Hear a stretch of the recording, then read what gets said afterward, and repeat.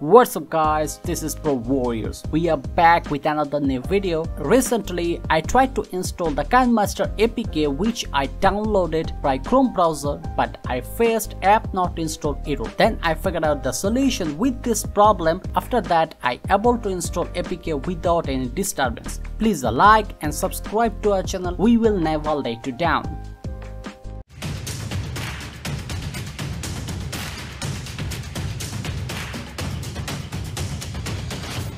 Unfortunately, very small amount of people subscribe to our channel. Please subscribe right now. You can always change your mind later. To fix this error, we will follow three simple steps. Our first step is to allow apps from unknown source. Go to your phone settings, then navigate to the security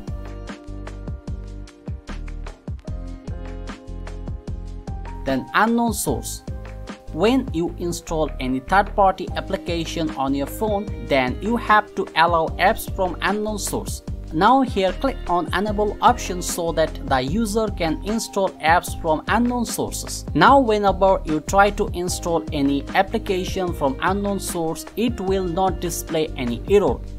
Our second step is to disable the Google Play Protect option. Open Google Play Store on your phone, then click on Hamburg icon, then search for Play Protect and open it. Now on Play Protect, tap on Settings icon at the top right corner, one of the protection feature that stop you from installing application from third-party source. So we have to disable it. Click on toggle button. Now you can install any third-party application our third and final step is to reset app preference. Go to settings of your Android phone, then click on apps and notification. Now click on apps, click on manage apps. Now you will see all the app list. You just have to click on the three dot at the top right corner, then click on reset app preference there you will get a pop-up inbox in which you have to click on reset apps. That's it. If you think this video is useful please like and subscribe to our channel. No more today. See you in the next video. Take care